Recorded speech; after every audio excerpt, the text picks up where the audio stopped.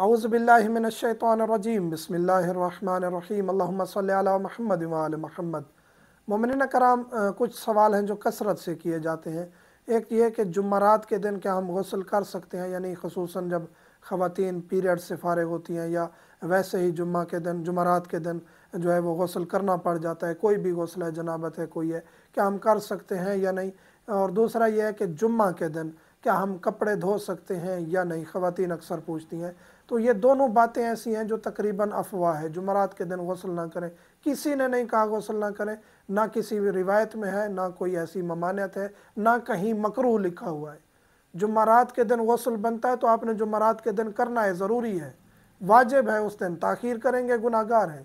اور جمعرات کوئی بھی غسل کر سکتے ہیں آپ۔ اور مستحب ہے، جس طرح ہم جمعرات کربلا جاتے ہیں، تو غسل کرتے ہیں کہ مولا کی زیارت کو جا رہے ہیں۔ اسی طرح جنابت کا غسل ہے، کوئی بھی غسل ہے جمعرات کو آپ کر سکتے ہیں۔ اسی طرح جمعہ کے دن کپڑے دھونے کی کوئی ممانعت نہیں ہے۔ جمعہ کے دن کپڑے دھوئیں، صاف ستھرے ہوں، مستحب ہے غسل کریں، صاف ستھرے رہیں، جمعہ کے دن عطر لگائیں۔ یہ تمام چیزیں مستحبات میں سے ہیں۔ تو یہ کچھ ایسی چیزیں ہوتی ہیں جو علماء سے اور دین سے وابستہ رہنے سے ہی حاصل ہوتی ہیں۔ نہیں تو بزرگوں سے جو چیز آ رہی ہوتی ہے، پھر وہ ایک مولوی صاحب کی بات پھر آپ کو غلط لگنا شروع ہو جاتی ہے کہ بزرگوں سے یہ ہم سنتے آ رہے ہیں، مولوی نے نیا ڈرامہ نکالا ہوا ہے۔ تو گزارش یہ ہے کہ شریعت آل محمد سیکھیں بزرگوں کی پیروی نہ کریں، کیونکہ قرآن نے بھی مذمت کی ہے، ممانعت کی ہے کہ آبا و اجداد کی پیروی نہ کریں۔ علوم آل محمد حاصل کرنے کی کوشش کریں۔